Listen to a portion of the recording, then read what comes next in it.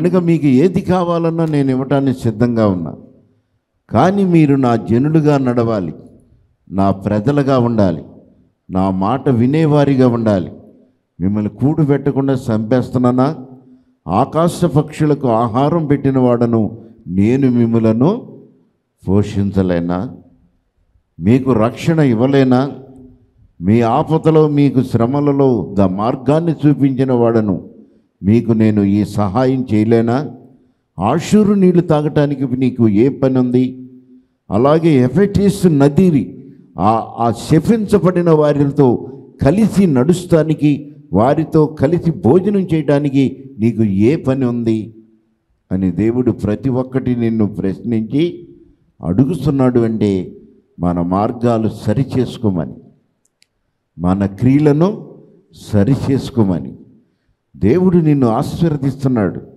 అత్యధికమైన ఆశీర్వాదాలు నీకు సమృద్ధిగా ఉంచాడు. కనుక ఈరోజు బాధకు శ్రమకు కారణం ఏమిటో నీవే గ్రహించుకో. ఈరోజు నీ బాధకు శ్రమకు కారణం ఏమిటో నీవే గ్రహించుకుంటే అప్పుడు నీ యొక్క క్రియలు నీకు తెలుస్తాయి. కనుక సొలోమాన్ ఏం చేస్తాడు చెప్పండి? దేవుడు అంత ఆశీర్వదించిన తర్వాత ఒకటో రాజులు పదకొండో అధ్యాయము ఆరో వాక్యంలో సొలోమాను ఎలా తప్పిపోయాడు చెప్పండి? ఈ ప్రకారం సొలోమోను ఈ ప్రకారము సొలోమాను యెహోవా దృష్టికి యెహోవా దృష్టికి చెడు నడత నడిచి చెడు నడతలను నడిచి తన తండ్రి అయిన తన తండ్రి అయిన దావీదు అనుసరించినట్లు దావీదు అనుసరించినట్లు యథార్థ హృదయముతో యథార్థ హృదయముతో ఆయనను యెహోవాను అనుసరింపలేదు. యెహోవాను అనుసరింపలేదు. అంత గొప్ప రాజుగా ఆశీర్వదించాడు. దేవుడు భూమి మీద అతనికి కలిగిన సమస్తమైన ధనము సంపద సుఖ సం సుఖ భోగాలు ఏ రాజు కూడా భూమి మీద ఎవరు కూడా అనుభవించని అంత ఐశ్వర్యాన్ని ఇచ్చాడు. ఆనాడు సలోమాను కాలంలో ఎండికి విలువ లేదంట. బంగారానికే విలువ ఉంది. అంటే ఆయనకు అనేక మంది రాజులు వచ్చి విస్తారమైన ఆస్తిపాస్తులను ఆయనకి ఆయన ఎందుకంటే దేవుని జ్ఞానము పరిశుద్ధమైన మాటలు పలుకుతూ ఉంటే అనేక మంది రాజులు వచ్చి ఆయన సన్నిధిలో ఆనందపడి బహుమతులను సమర్పణ చేశారు. అంద అలాంటి యొక్క జ్ఞానాన్ని దేవుడు సొలోమానుకి ఇచ్చాడు ఐశ్వర్యాన్ని ఇచ్చాడు. దేవుడి సన్నిధిలో చివరి అతని చివరి జీవితంలో ఏం చేశారు చెప్పండి? యథార్థపరుడుగా దేవుని సన్నిధిలో నిలబడలేకపోయాడు తప్పిపోయాడు. కారణం ఏంటి చెప్పండి?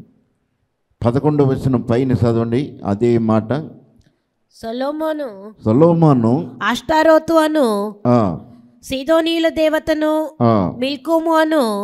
అమోనీల హేయమైన దేవతను అనుసరించి నడిచెను. నడుస అనుసరించి నడిచెను ఈ ప్రకారం సొలోమోను ఈ ప్రకారము సొలోమాను యెహోవా దృష్టికి యెహోవా దృష్టికి చెడు నడత నడిచి చెడు నడతను నడిచి తన తండ్రి అయిన దావీదు అనుసరించినట్లు తండ్రి అయిన దావీదు అనుసరించినట్లు అనుసరించినట్లు యథార్థ హృదయముతో యథార్థమైన హృదయముతో యెహోవాను అనుసరించలేదు. యెహోవాను అనుసరించలేదు ఎవరితో సావాసము చేయొద్దని ఎవరి ఎవరి దేవతలను మీరు ఆరాధించొద్దని ఎవరికి నువ్వు సాగిలపడొద్దని ఏ రీతిగా దేవుడు హెచ్చరిక చేశాడో వాటికే సలోమాను బానిష వహించాడు. దేవునికి స్తోత్రము. అలడ కనుక దేవుని సన్నిధిలో శాశ్వతమైన జీవము కలిగిన దేవుడు సన్నిధి రక్షణను కోల్పోయాడు. కనుక దేవుడు మనల్ని ఎంతగానో ప్రేమించి ఈరోజు ఆయన చక్కని మార్గములో మనం నడిపిస్తూ ఉండగా యథార్థమైన త్రోవల్లో మనం జీవిస్తూ ఉండగా నీవు అటు వెళ్ళవలసిన పని ఏంటి? ఇటు ఇటు నడవలసిన పని ఏంటి? ఆ బోధలు ఈ బోధలు నీకు అవసరమా? ఈ బాధలకు కారణము నీ పాపములే. నీ యొక్క ఏమన్నారు చెప్పండి? నీ యొక్క హృదయ ఆలోచన దేవుడి సన్నిధిలో నీవు ద్రోహం చేస్తున్నావు. దేవుని సన్నిధిలో ద్రోహము చేసి నీవు ఆయన సన్నిధికి దూరమైపోయావు. కనుకని నీకు బాధలు విస్తరిస్తున్నాయి. దేవునికి స్తోత్రము. హల్లెలూయా. అలడే కనుక దేవుడు మనల్ని ఎంతగానో ప్రేమించి అనేక మందిని ఆశీర్వదించిన దేవుడు కనుక నీ ప్రవర్తన విషయంలో కృతజ్ఞత కలిగి దేవుడి సన్నిధిలో ఆయన చేసిన మేళ్ళకు నీవు జీవిస్తున్నావా? దావీదును ఎంతగానో ప్రేమించాడు దేవుడు. నా హృదయ ఆలోచన కలిగినవాడు. నా తలంపులన్నీ అతనిలో నెరవేరుతాయి అని భూమి మీద సవాలు చేసిన దేవుడు ఒక క్షణములో దావీదేమయ్యాడు చెప్పండి? దేవుని సన్నిధిలో తన పాపమును తన క్రియలను ఒప్పుకుంటున్నాడు. ముప్పై చూడండి ముప్పై ఎనిమిది పద్దెనిమిది వాక్యం కీర్తన గ్రంథం నా దోషమును నా దోషములు నేను ఒప్పుకొనుచున్నాను. నేను ఒప్పుకొనుస్తున్నాను నా పాపమును గూర్చి నా పాపములను గురించి నేను విచారపడుచున్నాను. విచారపడుతున్నాను. కీర్తన గ్రంథం చూడండి యాభై ఒకటి పదకొండు. నీ సన్నిధి నుండి నీ సన్నిధిలో నుండి నన్ను త్రోసివేయకుము. నన్ను త్రోసివేయకుము. నీ పరిశుద్ధాత్మను నీ పరిశుద్ధాత్మను నా యొద్ద నుండి తీసివేయ నా యొద్ద నుండి తీసివేయకుము. నీ రక్షణ ఆనందమును నీ రక్షణ ఆనందము నాకు మరలా పుట్టించుము. పుట్టించుము. సమ్మతి గల మనస్సు సమ్మతి గల మనస్సు నాకు కలగజేసి కలగజేసి కలగ చేసి నన్ను నన్ను దృఢపరుచుము. అప్పుడు అప్పుడు అతిక్రమం చేయవారికి అతిక్రమములు చేయువారి త్రోవలను బోధించదు నీ త్రోవలను నేను పాపులను పాపులందరూ కూడా నీ తట్టు తిరిగెదురు. నీ తట్టుకు తిరిగెదరయ్యా. దేవా దేవా నా రక్షణకర్తవకు దేవా. రక్షణకర్త అయిన దేవా అపరాధమును నుండి నన్ను విడిపింపము. విడిపించు దేవా. నీ దేవుడు సన్నిధిలో దావీదు. అయా నీ రక్షణ ఆనందము నుండి నీ సన్నిధి నుండి నన్ను త్రోసివేయొద్దయ్యా. నేను పాపములో పడిపోయానయ్యా. నీ హృదయ ఆలోచన ఎరిగి నేను నడవలసిన వాడను కామాంధుడనై పాపములో పడిపోయానయ్యా. నన్ను క్షమించయ్యా. నా దోషములు నా తల మీద పొర్లి పోవుస్తున్నవయ్యా నా దోషములన్నీ నా తల మీద పొల్లుతున్నాయ్యా నా పాపములన్నీ నాకు తెలిసే ఉన్నాయ్యా. ఈరోజు నేను నీ సన్నిధిలో ప్రభువాన్ని పిలిచే అర్హత పోలిపోయానయ్యా నీ సన్నిధిలో నుండి నన్ను త్రోసివేయొద్దయా నీ పరిశుద్ధాత్మను నా యొద్ద నుండి తీసివేయొద్దయా ఈ లోకములో నన్ను సాక్షిగా నిలబెట్టుకోయా. నా ఎడల నీవు వాగ్దానం చేశావు. అనేకుల హృదయాలను ఎరిగిన దేవుడివయ్యా. నీ హృదయ ఆలోచనలను నేను ఎరిగేవాడిగా మరొక్కసారి నాకు నీ ఆత్మను నాకు దయచేయమని ప్రార్థన చేస్తే దేవుడు అంగీకరించి అతనికి తిరిగి మరలా దేవుడు మరలా దయ ప్రేమను చూపించాడు అనేకులకు ఈరోజు ఆయన సాక్షి జీవితము ఎలా ఉందో చెప్పండి? మన అందరికీ ఆదర్శముగా ఉన్నది. దేవునికి స్తోత్రము. అలడయ కనుక దేవుడు మళ్ళీ ఎంతగానో ప్రేమించాడు. కనుక తాను నిలిచున్నానని ఏమంటున్నారు చెప్పండి? ఒకటో కొరింది పది పన్నెండులో అక్కడ దేవుడు ఏమంటున్నారు చెప్పండి?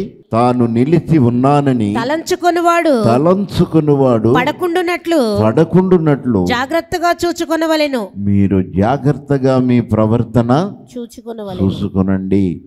నాకేం పర్వాలేదులే నేను విశ్వాసంలోనున్నాను ఏదో ఒక టైంలో నేను వెళ్ళి ప్రార్థన చేస్తాను నా దేవుడు క్షమించేస్తాడు అనుకుంటున్నారు. కయ్యును ప్రార్థన చేశాడు ఏబేలు కూడా ప్రార్థన చేశాడు. అక్కడ దేవుడి ప్రార్థన అక్కడ ఏబేలు ప్రార్థన చూస్తున్నాడు కయ్యను ప్రార్థన చూస్తున్నాడు.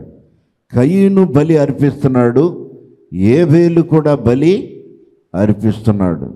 ఇద్దరూ ప్రార్థన చేస్తున్నారు. కానీ అంగీకరించబడిన వారు ఎవరు చెప్పండి? ఏబేలు. కయ్యును దేవుని సన్నిధిలో ఎంత ప్రార్థన చేసినా ఎన్ని రకాలుగా తన బలులు అర్పించినా అతడు అంగీకరించబడనే లేదు. దేవునికి సోదరము అలడే సత్క్రియలు చేసిన ఎడల నీవు తలను ఎత్తుకొనవా? నీవు సత్క్రియ చేసిన ఎడల నీవు సత్క్రియలు చేసిన ఎడల తలనెత్తుకొనవా? నీవు తల ఎత్తుకొనవా? సత్క్రియ చేయని ఎడల సత్క్రియలు చేయని ఎడల వాకిట పాపము పొంచి ఉండును. వాకిట పాపము పొంచి ఉండును. పొంచి ఉండును. దేవునికి సోదరము హల్లెలూయా. అలడే సత్క్రియలు చేయటం లేదు. దేవునికి ఇష్టమైన క్రియలు నీలో లేవు కనుక నీ వాకిటనే పాపము పొంచి ఉంటుంది. దానికి వాంక్ష కలుగుతున్నది నిన్ను ప్రేమిస్తుంది. ఏ రీతిగా నిన్ను పట్టుకోవాలో ఆశ కలిగి ఉన్నది అని దేవుడు చెప్తున్నాడు. కనుక దేవుని సన్నిధిలో కనుక నేను నిలుస్తున్నాను ప్రార్థన చేస్తున్నాను. ఏదో టయానికి వెళుతున్నా ఏదో టయానికి దేవుడు అంగీకరిస్తున్నాడు అనుకుంటున్నావు. కయ్యును వలె నీవు త్రోసివేయబడే వ్యక్తిగా ఉన్నావు అనే విషయాన్ని గుర్తించి నీ పాపముల విషయమై నీవు విచారపడు పశ్చాత్తాపము కలిగి దేవుడి సన్నిధిలో ఒప్పుకున్నప్పుడు దావీదు మరలా తిరిగి క్షమించబడి ఉన్నాడు. దేవునికి స్తోత్రము. అలడయ దావీదు క్షమించబడి ఉన్నాడు. తిరిగి మరలా తన యొక్క స్థితిని మరలా పొందుకోగలిగాడు. ఈరోజు తప్పిపోయిన కుమారుడు కుమారుడు ఉన్నాడు అండి తండ్రి ఎంత చెప్పినా ఎన్ల. ఏం చేశాడు చెప్పండి? నాకంతా తెలుసు అన్నాడు నా కుమారుడు ఆ లోకములో సాతానుడు ఉన్నాడయ్యా అనేక మంది యవనస్తులను వృద్ధులను అనేక కుటుంబాలు పాడు చేస్తున్నాడయ్యా. అలాంటి దురాత్మ నీ మీద పనిచేస్తుందయ్యా. ఆ దురాత్మ ప్రేరేపణకు లోబడమాకయ్యా అని తండ్రి అంత బతిమిలాడినా నాకు అంతా తెలుసు. నాకు నా జీవితము ఏ రీతిగా నేను నడిపించాలో నడుస్తానో అది అంతా తెలుసు. నాకు రావలసిందేమని తండ్రిని దెబ్బలాడి కుటుంబాన్ని విడగొట్టి ఆ కుటుంబంలో కల్లోలము రేపి బయటికి వెళ్ళాడు. ఏమయ్యాడు చెప్పండి? లాస్ట్కు చెప్పులు లేవు బట్టలు లేవు. ప్లాస్టిక్ పందుల పొట్టు దగ్గర కాపలా కాస్తున్నాడు. దేవునికి స్తోత్రము. ఆ పంది పొట్టు ఉంటే చాలు. ఆ పంది పొట్టు కూడా అతనికి దొరకటలేదు. కనుక అప్పుడు అనుకున్నాడు నా తండ్రి దగ్గర అనేక మంది జీతగాళ్ళు ఉన్నారు. అనేక మంది అక్కడ పనివారు నమ్మకస్తులు ఉన్నారు. వారిలో ఒక్కనిగానైనా నా తండ్రి నన్ను చేర్చుకుంటాడా? కనుక ఆయన దగ్గరికి నేను వెళతా. ఆయనకి నేను ద్రోహం చేశానని తన మనస్సులో అనుకుని తిరిగి తండ్రి దగ్గరకు వెళ్ళగానే తండ్రి అతనిని చూడండమ్మా. అయితే బుద్ధి వచ్చినప్పుడు అయితే బుద్ధి వచ్చినప్పుడు వాడు నా తండ్రి యొద్ద? వాడు నా తండ్రి యొద్ద. ఎంతో మంది కూలివాండ్రకు ఎంతో మంది కూలివాండ్రకు అన్నము సమృద్ధిగా ఉన్నది. సమృద్ధిగా దొరుకుతున్నది. నేనైతే నేనైతే ఇక్కడ ఆకలికి చచ్చిపోవచ్చున్నాను. ఇక్కడ నేను ఆకలితో చచ్చిపోవచ్చున్నాను. చచ్చిపోతున్నాను. నేను లేచి నా తండ్రి యొద్దకు వెళ్ళి లెగిసి నా తండ్రి యొద్దకు వెళ్ళి వెళ్ళి తండ్రి తండ్రి నేను పరలోకమునకు విరోధముగాను విరోధముగాను విరోధముగాను నీ ఎదుటను నీ ఎదుట నేను పాపము చేసి పాపము చేశానయ్యా. ఇక మీదట ఇక మీదట నీ నీ కుమారుణ్ణని అనిపించుకునే అర్హత నేను. యోగ్యుడను కోల్పోయాననుకుని తనలో అనుకుని బయలుదేరి వెళ్ళతూ ఉండగానే తండ్రి నోటి మాట ఆ కుమారుడు నోటి మాట రాకక మునిపే తండ్రి ఏం చేశాడు చెప్పండి అతనిని? కౌగులిచ్చుకున్నాడు దేవునికి సోదరము అలడే నా కుమారుడా చనిపోయి తిరిగి వచ్చావు. కనుక నీవు నా కుమారుడివే. నాలో ఆనందపడు అని చెప్పి వస్త్రాన్ని కప్పి చెప్పులు తొడిగించి కొవ్విన దూడను వధించి ఇదిగో చనిపోయిన నా కుమారుడు తిరిగి బ్రతికెను. బ్రతికి వచ్చాడు. మన కొరకు దేవుడు గొప్ప విందు చేస్తున్నాడు పరలోకంలో. నా బిడ్డలందరూ కూడా తప్పిపోయి చనిపోయి తిరిగి నా యొద్దకు వచ్చారు.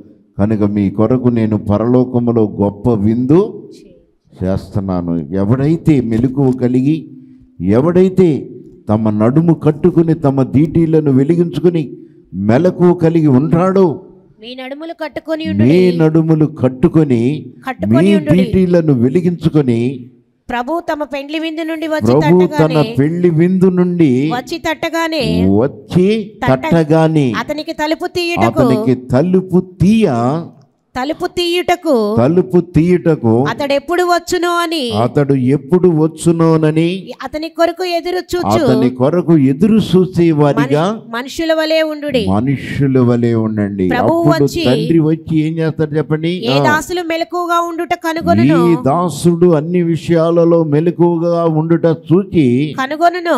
కనుగొనును. ఆ దాసులు ఆ ధన్యులు దాసుడు ధన్యుడు. అతడు నడుము కట్టుకొని అతడు నడుము కట్టుకొని వారిని భోజన పంక్తిని వారికి కూర్చుండబెట్టి భోజన పంచిన కూర్చుండబెట్టి తానే వచ్చి తానే వచ్చి వారికి ఉపచారము చేయునని ఉపచారము చేయునని మీతో నిశ్చయముగా చెప్పుచున్నాను. చెప్పుస్తున్నాను దేవునికి సౌద్రము. అలా అది ఉపమాన రీతిగా చెప్పాడు. మన దేవుడు మన ఆత్మ దాహాన్ని తీరుస్తాడు. ఈ లోకములో అనేక శరీర పాపములు శాపములతో అనేక దాహాలు తీర్చుకున్న ఈ లోకం వైపు మనం చూస్తే ఆత్మీయ జీవితంలో చల్లారిపోతాం. కనుక ఆత్మీయులకు ఈ లోక దాహము ఎందుకంటే అది శాపగ్రస్తమైనది. కనుక దేవుడు మన ఆత్మ దాహాన్ని తీరుస్తానికి మెలకు కలిగి ఉండండి. ఆయన మీ దాహాన్ని తీరుస్తానికి ఆయన ఒక సమయము రానయ్యి ఉన్నాడు. ప్రతి వారు కూడా మెలకువ కలిగి ఉండండి. కనుక మీ ఆత్మీయ జీవితంలో మీ ఎడల చేసిన ప్రతి మేలును ఎరిగిన వారై ఆయన సన్నిధిలో మెలకువ కలిగి ఉన్నాడు. కనుక మెలకువ కలిగి ఉన్న వారికి దేవుడే వచ్చి వారి ఆత్మీయ దాహాన్ని తీరుస్తాడు. ఆ దినము ఎంతో సంతోషము సమాధానం మీకు కలుగుతుంది. దేవునికి స్తోత్రము. అలడయ అలాంటి సంతోషాన్ని ఇవ్వటానికే ఈ లోకములో దేవుడు మనకు కావలసినవన్నీ ఇస్తున్నాడు. కనుక దేవుని సన్నిధిలో నీవు అటు ఇటు తిరుగుటయలా కనుక ఈరోజు నీవు బాధలకు గురి అయి ఆయన సన్నిధిలో ఇప్పుడైనా నీవు సాగిలపడి అయా నా పాపముల కొరకు నా దోషముల కొరకు నేను ఈరోజు విచారపడుతున్నాను సిగ్గుపడుతున్నానయ్యా. పాపుల ఎదుట నేను సాక్షిగా నిలబడతానయ్యా. ఈరోజు నీ ఆత్మను నాకు మరలా దయచేయి అని చెప్పి దేవుడి సన్నిధిలో ప్రార్థన చేయండి. తప్పకుండా దేవుడు మిమ్మల్ని బలపరిచి స్థిరపరిచి తన బిడ్డలుగా తప్పిపోయిన కుమారుణ్ణి ఏ రీతిగా తన కౌగిట్లో తీసుకున్నాడో అలా తీసుకుని మీకు సహాయం చేయడానికి ఆయన సిద్ధముగా ఉన్నాడు. దేవునికి స్తోత్రము. అలా అలాంటి దేవుడి సన్నిధిలో మనము ఈరోజు తప్పిపోయిన వారిగా ఉన్నామా? లేకపోతే ఆయన కుమారుడిగా కుమార్తెగా సంతోషముగా ఆయనను సంతోషపరిచే యుక్తులుగా ఉన్నామో? మన హృదయాంతరంగాలను పరీక్ష చేసుకునమని దేవుడు మనకు తెలియపరుస్తున్నాడు. దేవునికి స్తోత్రము. అలడయ కనుక దేవుడి సన్నిధిలో మీరు ఎట్టి పనులు చేసినా ఎఫ్ఎస్టీలకు రాసిన పత్రిక లాస్ట్ వచ్చినాలు చూడండి. ఆరు ఆరో అధ్యాయము ఐదో వాక్యం చూడండి.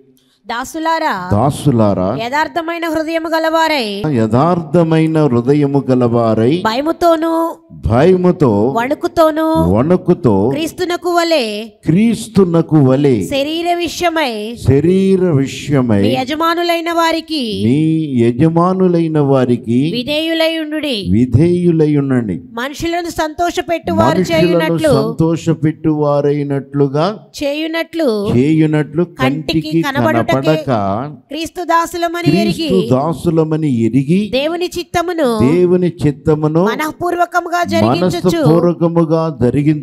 మనుషులకు చేసినట్టు మనుషులకు చేసినట్లుగా కాక కాక ప్రభువునకు చేసినట్లే ఇష్టపూర్వకముగా సేవ చేయుడి. ఇష్టపూర్వకముగా సేవ చేయండి. దాసుడైనను స్వతంత్రుడైనను మీలో ప్రతివాడు ఏ సత్కార్యము ఏ చేయును? సత్కార్యములు చేసెనో దాని ఫలము దాని ఫలము ప్రభువు వలన పొందునని ప్రభు వలన పొందునని మీరెరుగుదురు. మీరెరుగుదురు. యజమానులారా యజమానులారా మీకును వారికి మీకును వారికి యజమానుడైన వాడు యజమానుడైన వాడు పరలోకమందున్నాడనియు. పరలోకమందు ఉన్నాడని ఆయనకు పక్షపాతము లేదనియు. పక్షపాతము లేదని ఎరిగిన వారే ఎరిగిన వారై వారిని బెదిరించుట మాని వారిని బెదిరించుట మాని ఆ ప్రకారమే ఆ ప్రకారమే వారి ఎడల వారి ప్రవర్తించుడి ఎడల మీరు ప్రవర్తించండి. తుదకు చాలు. దేవుడు అక్కడ ఏమంటున్నారు చెప్పండి అక్కడ? దాసులారా యథార్థమైన హృదయము గలవారై భయముతో వణుకుతో క్రీస్తు వలె అన్ని విషయములలో మీ యజమానులైన వారికి మీరు విధేయులై ఉండండి. కనుక మీ మీద ఇప్పుడు ఎవరిని యజమానులుగా మీ కాపరిగా ఉంచాడో వారి మాట వినండి. మీ కాపరులు మీ ఆత్మల గురించి భారము కలిగి ఉన్నారు. వారు జ్ఞానముతో బోధిస్తున్నారు. కనుక వారి బోధలకు లోబడండి. కనుక మనుషులను సంతోషపెట్టు వారు చేయునట్లుగా కంటికి కనపడాలని ఏ పని మీరు చేయకండి. కనుక ఏది చేసినా దేవుడికి చేస్తున్నాం దేవునికి ఇస్తున్నాం దేవుడే మనకు తోడై ఉన్నాడు అని ఆయనకు భయపడి చేయండి ప్రతి మనుషునికి కూడా పరలోకములో ఉన్నాడు దేవుడు. మీ యజమానులైన వారికి మీకు సహాయము చేయటానికి మీరు చేసిన దానికి ప్రతిఫలం ఇవ్వటానికి దేవుడు ఆకాశమందు మీ కొరకు ఆయన చేతులు సాపి ఉన్నాడు. కనుక ఆయనకు పక్షపాతం అనేది లేదు ఏ భేదము లేదు. కనుక ఆయన మీ పక్షాన ఉన్నాడు. కనుక వారికి భయపడండి లోబడండి కనుక వారి మాట వినండి కానీ వారిని బెదిరించుట మానండి అని దేవుడు హెచ్చరిక చేస్తున్నాడు. అన్ని విషయాలలో వారి మాటలు లోబడండి. దేవుని వాక్యం మీకు బోధించబడుతుంది. కనుక వాక్యాన్ని అంగీకరించండి. అంతేగాని వారి క్రియలను అనుసరించి మీరు ప్రవర్తించి వారిని సులకనగా చూడకండి కనుక దేవుడు అందరినీ క్షమిస్తున్నాడు. వారి బలహీనతలు క్షమిస్తున్నాడు మీ బలహీనతలు కూడా క్షమిస్తున్నాడు. అందరికీ యజమానుడైన వాడు పరలోకములో ఉన్నాడు. ఆయనకు పక్షపాతము లేదు. కనుక మనం అందరం కూడా దేవునికి దాసులై ఆయన మనస్సును కలిగి ఆయన ఆలోచనలను ఎరిగి ఆయనను సంతోషపరిచే కుమార్తెగా కుమారుడిగా ఉండాలి అని దేవుని స్పక్షమున మిమ్మల్ని అందరినీ కోరుకుంటున్నా దేవునికి స్తోత్రము. అలా దేవుడు ఇచ్చిన వాక్యాన్ని మరి అన్ని విషయాల్లో మీరు అంగీకరించి ఆయన చిత్తాన్ని ఈ రెండు వేల ఇరవై మూడులో నెరవేరుస్తారని మిమ్మల్ని అందరి విషయంలో నేను ఆస్తి కలిగి ఉన్న దేవుని వాక్యము దీవించునుగాక హలుడిగా దేవునికి వందనాలు. అమ్మగారికి వందనాలు అయ్యగారికి వందనాలు కుడివన మీద నా నా పేరు నాగేశ్వరరావు అండి నేను ఆర్టీసీలో జాబ్ చేస్తాను. నేను రెండు వేల పదమూడులోనే నా కుటుంబంతో మాకున్న సమస్యలను బట్టి చనిపోవాల్సిన వాళ్ళం అండి. ఆ రోజే రెండు వేల పదమూడులోనే సూసైడ్ చేసి చచ్చిపోదానికి ప్రిపేర్ అయ్యి వెనక్కి వచ్చిన వాళ్ళం అండి. అలాంటి టైంలోనే మన మందిర గురించి తెలిసి మందిరానికి వచ్చిన తర్వాత మా జీవితంలో ఎన్నో ఆశ్చర్యకార్యాలండి మొత్తం అసలు చెప్పుకోవడానికి కూడా వాళ్ళ అన్ని ఆశ్చర్యకాలు జరిగినాయి. ఇన్ని ఆశ్చర్యకాలు జరిగినా కూడా నేను దేవుడిలో పూర్తిగా విశ్వాసం నడవలేకపోతున్నాను. మరి రెండు వేల ఇరవై వరకు కూడా దేవుడి నుంచి చాలా గొప్పగా కాచి కాపాడండి. నన్ను నా బిడ్డను కూడా కుటుంబాన్ని కూడా బాగా కాచి కాపాడండి. రెండు వేల ఇరవై ఒకటిలో భయంకరమైన శోధనలు వచ్చినాయండి. అసలు ఇక నేను తట్టుకోలేనేమో ఆ సమస్యలని ఆ శోధనలు అనుకున్నానండి. నేను ఎవరికి చెప్పను కూడా చెప్పలేదు. ఇంతవరకు ఇంతవరకు ఎవరికి చెప్పలేదు అసలు. మా ఆ రెండు వేల ఇరవై ఒకటిలో ఫస్ట్ మా ముగ్గు మా కుటుంబంలో ముగ్గురు చనిపోయారండి. వరుసనే వారం పది రోజుల గ్యాప్లోనే ముగ్గురు చనిపోయారు. మా అత్తగారు మా మామగారు మా చిన్న మామగారు వరుసనే చనిపోయారు. అసలు అదే ఇది అనుకుంటే మే నెలలో మా అందరికీ కుటుంబంలో పదిహేడు మంది టెస్ట్ చేయించానండి నేను కరోనా టెస్ట్. సెకండ్ వేవ్ బాగా కుదురుతున్న టైంలో పద్నాలుగు మంది పాజిటివ్ వచ్చింది. ముగ్గురికి నెగిటివ్ వచ్చింది. అందరికి పాజిటివ్ వచ్చేసింది. అసలు ఏం చేయాలో అసలు అసలు పిచ్చెక్కిపోతుంది అనమాట అసలు అర్థం కాని పరిస్థితి. బయటికి వెళ్ళే పరిస్థితి లేదు. మందులు కూడా దొరకట్లేదు. ఏం చేయాలో తెలియని పరిస్థితిలో. నేను ఒకటే అనుకున్నాను. ప్రభా మేము ఎన్ని రోజుల్లో సాక్షి సాక్ష్యం చెప్పుకుంటానే మా కుటుంబంలో ఎవరికి ఏ ఇబ్బంది లేకుండా కాపాడదేవా అని ఒకటే ప్రార్థన అదే ప్రార్థన చేసుకున్నాను. అలాగే అదే దేవుని చిత్తం దేవుడు గొప్పగా కాపాడాడండి. నేను ఆ తర్వాత అప్- అప్పుడు కూడా దేవుడిలో నేను మత్తుగా ప్రార్థించడం అందరిని ప్రార్థన మానేశాను అసలు. ఈ శ్రమలు వచ్చిన తర్వాత అసలు దేవుడిని ప్రార్థించడం మానేశాను పూర్తిగా వదిలేసాను దేవుడిని అసలు. మందిరానికి ఆదివారం మందిరికి వచ్చి వెళ్తున్నాను అంతే. ఆ తర్వాత మళ్ళీ మా తమ్ముడికి నేను కొంత అమౌంట్ యాక్చువల్ యాక్చువల్గా నేను ఇల్లు కట్టుకుందామని దాచుకున్నాను ఆ డబ్బులు లోన్లు పెట్టి. అంటే రెండు మూడు నెలలు అడ్జస్ట్ చేస్తానంటే నేను ఇచ్చాను. ఆడు కంప్లీట్ అసలు కట్టడం మానేసి నా జీవితం మొత్తం ఆ లోన్లు కట్టే కట్ అయిపోతుంది. అసలు జీవితం జీవితం ఉండలేదు అసలు నాకు. నెలాఖరికి వచ్చేసరికి అసలు ఇంట్లో గ్రాసరీస్ ఎలా కొనుక్కోవాలో అర్థం కాని పరిస్థితి అంత దారుణంగా తయారైపోయింది. దర్శింపకటం మానేశాను. ఇన్ని శోధనలు వస్తున్నా కానీ నేను దేవుడి వైపు తిరగట్లే. నాకున్న విచిత్రమైన మెంటాలిటీ ఏంటంటే నేను ఆ సంతోషంగా ఉంటేనే దేవుని గుర్తు పెట్టుకుంటా. బాధ వస్తే దేవుడిని మర్చిపో దేవుడినే కాదు ఎవరైనా మర్చిపోతాను అనమాట ఎంత ఎంత ఏదో కోపం ఒక రకమైన విచిత్రమైన సైకిక్ టెండెన్సీలోకి వెళ్ళిపోతాను అనమాట ఇక నేను అసలు మా ఏంటి ఇన్ని నేను బాగానే ఉన్నాను కదా ప్రార్థన కూడా చేయట్లేదు అయినా కానీ నాకు ఇన్ని శ్రమలు వస్తున్నాయి కష్టాలు వస్తున్నాయి అని నేను ఆయన అయినా ఇంకా మూర్ఖంగా పేరు మానేసేది చేయట్లేదు అసలు. గత వారంలో అండి దేవుడు భయంకర శోధన పెట్టాడండి. అసలు వారం రోజుల పాటు మేము అసలు ఈ బాబు కానీ నేను కానీ మా కుటుంబంలో ఎవరు భోజనం చేయాలి నిద్రపోలేదు అసలు. అంత దారుణమైన పరిస్థితి. ఎందుకంటే అలా అదేంటంటే రెండు వేల పదమూడులో మా బాబుకి ఒక చిన్న ఇబ్బంది వచ్చేది. దాంతోనే ఆ వ్యాధిని బయట మేము బయట చూడ తెలుసుకోగలిగాం. ఒక వైర్ కాలిన వాసన వచ్చేదంట. వాసన వచ్చిన వెంటనే వామిటింగ్ అయిపోయేది. ఆ వాసన ఎందుకు వస్తుందో చూద్దామని టెస్ట్ చేయించి చూస్తే అది తర్వాత క్యాన్సర్ అని చెప్పారు. ఇంకా తర్వాత అంతా మీ అందరికి తెలిసిందే.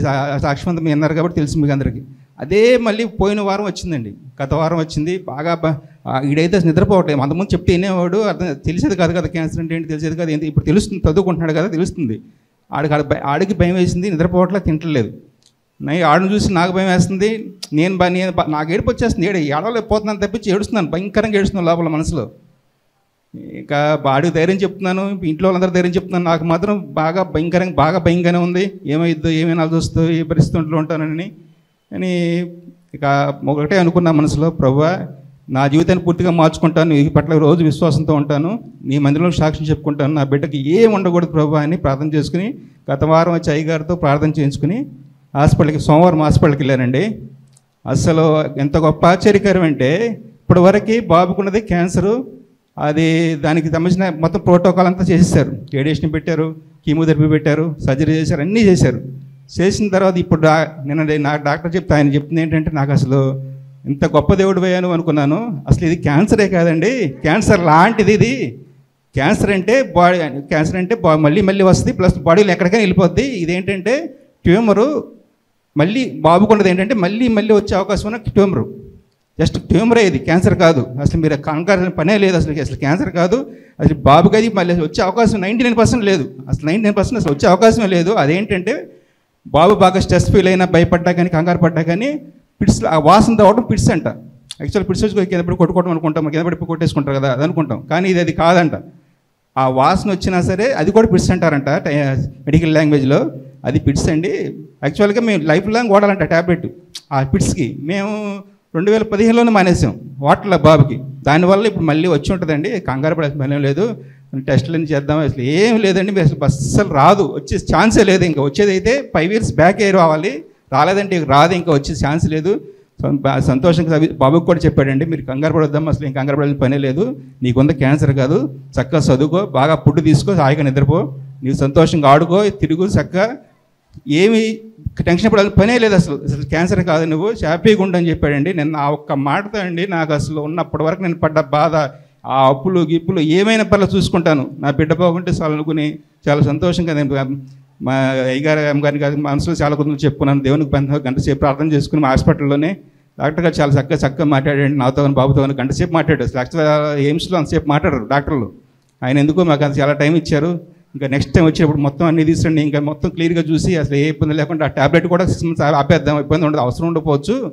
ప్రస్తుతం స్ట్రెస్ వల్ల వచ్చింది. ఆ టాబ్లెట్ కూడా సిక్స్ మంత్స్ ఆపి ఆపే- ఆపేద్దాము. ఇబ్బంది ఏం లేదండి. చక్కగా చదివించుకోండి బాబుని. తీసుకెళ్ళిపోండి అన్నాడండి అంత అంత గొప్ప చేసి గొప్ప కార్యం అండి ఈ వారంలో నాకు నేను పోయిన వారం వరకు నేను పడ్డ బాధలో సమస్య అంత అసలు మానసిక ఆందోళన నేను చెప్పలే చెప్పలేకపోతున్నాను నేను. యాక్చువల్గా నేను ఎక్కువ చెప్పాలనుకున్నా కానీ అన్నకి కొంచెం ఎక్కువ టైం తీసుకున్నారు కానీ నేను చెప్పలేకపోతున్నాను. అందుకే నేను ఇంకోసారి వచ్చినప్పుడు నా నుంచి పడ్డ శ్రమలన్నీ బాధలన్నీ ఇంకోసారి చెప్పుకుంటా ఆర్నెట్ ప్రేయర్లో చెప్పుకుంటానండి. ఇంత గొప్పగా కార్యం చేసిన దేవుడికి నేను కృతజ్ఞతలు తెలియజేసుకుంటానండి. ఈ గొప్ప సాక్షిని దేవుడు దీవించును గాక